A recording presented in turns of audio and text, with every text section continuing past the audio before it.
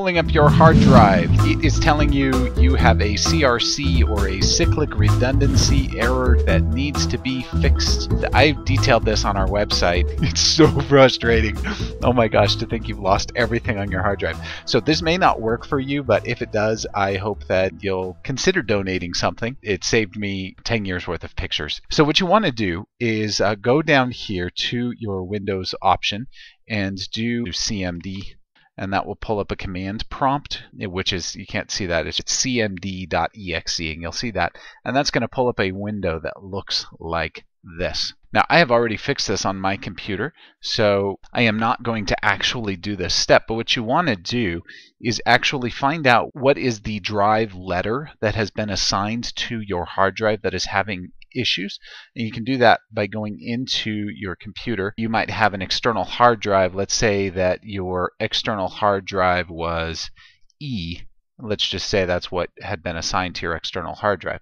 What you would want to do in this command prompt is find the correct drive letter and then you'd want to run a check disk chkdsk and then let's say it was e then the colon now if you have a different drive letter again you want to put in your drive. Check disk is going to take a couple of minutes to check the disk, but then if you read through the results, you'll see whatever your error error is, and then it will say run chest check disk again with the slash f which is fix option to correct this. In your command prompt, you'll want to go check disk and then whatever the drive letter is and then put slash capital F after it, put a space in between those two, you can actually fix the disk in a lot of cases.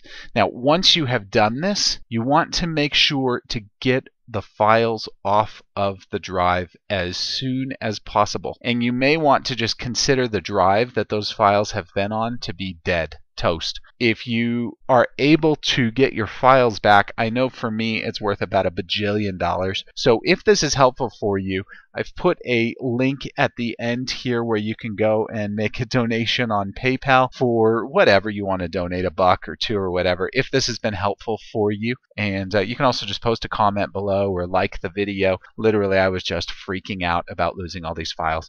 So again, the link to donate if you are finding this to be successful is in the video here. It's also below the video. And I hope that this helps you fix your CRC error and get back the files that are on your hard drive. It's so nice to have everything back. Thank you very much, and I hope that this really helps you. And remember to donate if it has helped you. If you liked this video, please be sure to give it a thumbs up below be sure to subscribe as we have more helpful videos almost every single day. If you have any questions that we can answer for you, please be sure to come and visit us at showmehowtodothis.com.